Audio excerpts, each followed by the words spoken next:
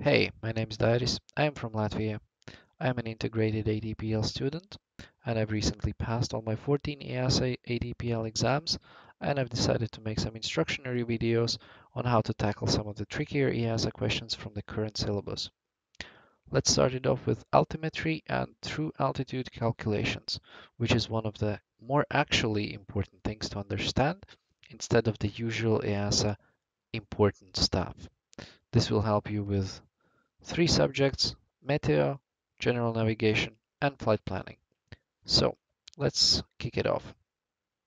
So this is going to be our problem which we'll be solving. We have to calculate our true altitude and also we have to calculate what will be the aircraft's clearance above, above the highest obstacle along this route. This is one of the, in my opinion, harder questions and I think if you will get how to do this, you will be able to do any of those type of questions. So before I start, I would like to mention that there is no one, the most correct way on how to calculate these kind of problems. I'll just give you my way. It worked for me. And in my opinion, it's one of the easiest ones. You can use CRP5 or any other mechanical flight computer. I didn't think that the accuracy is good enough especially for indicated altitude and true altitude. For density altitude, sure, go ahead, not for true. That's my experience, so I'll explain you what is happening here. You draw a sketch, forget about the mountain, you don't have to include it here. Our aircraft is at flight level 150 or 15,000 feet, and that is measured from 1013 hectopascals, which is here. So the column effectively of 15,000 feet in ISA conditions is all this long thing. Yeah. Our station is at 1,500 feet above mean sea level, and it measures that at the mean sea level, the pressure is 1,000 hectopascals. So our zero feet or mean sea level is here, and this column is 1,500 feet. So not to confuse. Now we need to calculate how much is this column. And in order to do that, we have to take the difference between 1013 and 1000. Yep. So it is effectively 13. And 1 hectopascal difference equals 30 feet. And we just multiply 13 by 30 and we have uh, 300 90 feet difference. So this portion is 390 feet. Now we have to think about our temperature correction. Biggest challenge or well understanding here is that temperature correction is only done from the air column. Our station is at 1,500 feet. It's on a small mountain. This is Earth, and this is also Earth, so temperature deviation doesn't affect this. However, temperature correction affects this portion. We have to now calculate what is our ISA deviation. In this case, it is minus 25 degrees Celsius. And if the temperature is lower than ISA, then our indicated altitude increases. However, our true altitude decreases. Yeah, there are several ways on how to calculate uh, the temperature deviation. For me, what works is the following.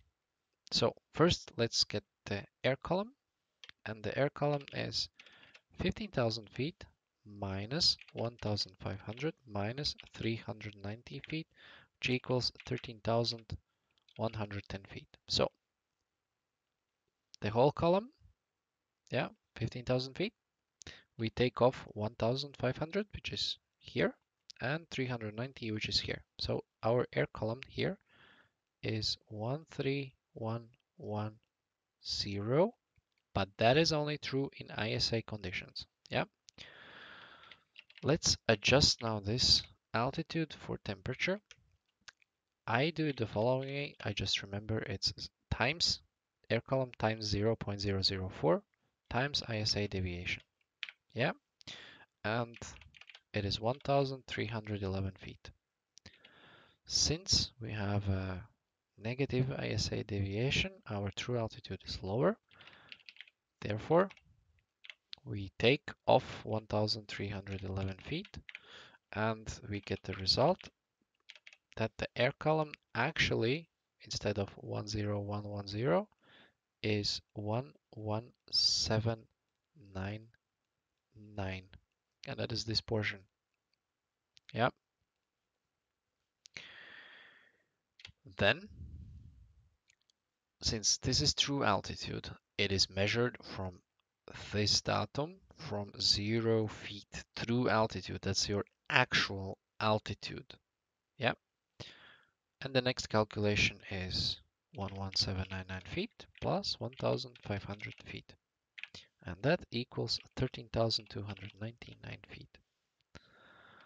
We disregard this small portion here because it is lower than uh, lower than zero feet.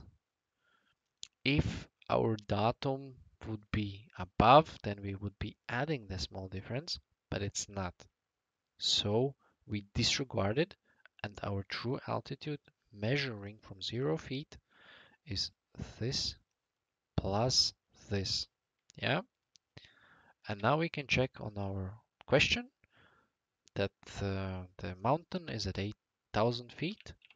And now we just, uh, yeah, subtract 8,000 and it equals 5,299 feet. So do we have an answer of 5,300? Yes, we do. Perfect. That is correct. Um, let's go back this one question. Yeah, 5,300. And now, if we would have a positive ISA deviation, let's say of plus 25, all the calculation would remain exactly the same until this point here. If we would have a positive ISA deviation, our true altitude would be actually increasing.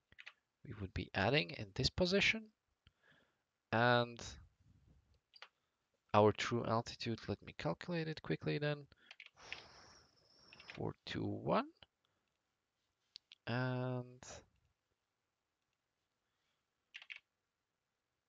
421 plus 1500 our true altitude would be 15,921.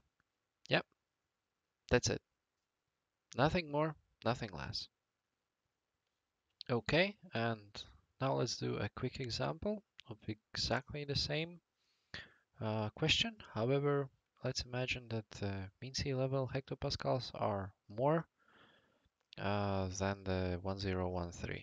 Yeah, just so you can understand better uh, with a little bit of variation. So the very beginning is exactly the same. So 1028 hectopascals minus 1013 equals, um, so 15 times 30 equals 450 feet. Yeah.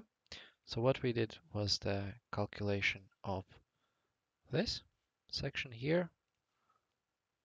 This is 450 feet It's just the difference between our datum for flight level and the mean sea level. Yeah. This effectively leaves here only 1050 because this whole column is 1500. And now we again have to get our air column.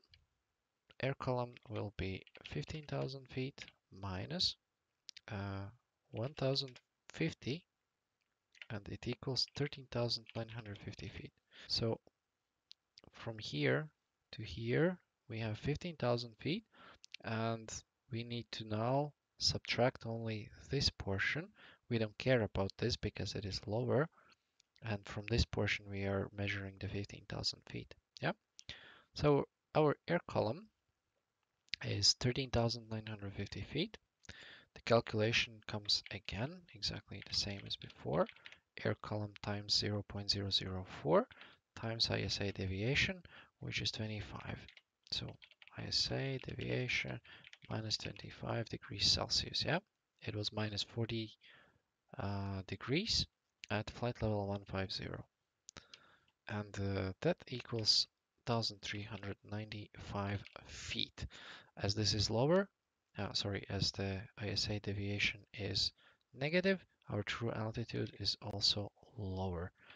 And our true altitude is then 13,950 minus 1,395 and that equals at 12,555 feet. So in ISA conditions, this portion would be 13195. However, with ISA deviation, this is not true, and our portion here is 12,555 feet, right? And now we again, remember true altitude is measured from here. Therefore, our true altitude will be 12,555 plus 1,500, and that equals at 14,055 feet. So this portion plus this portion until here, and also plus this portion. Now we add this small portion because datum for true altitude is here. So that is how you do it. If you have any questions, ask. If you have any comments, comment, like, dislike, whatever. I'm gonna keep on going with some other small stuffs later on. Cheers.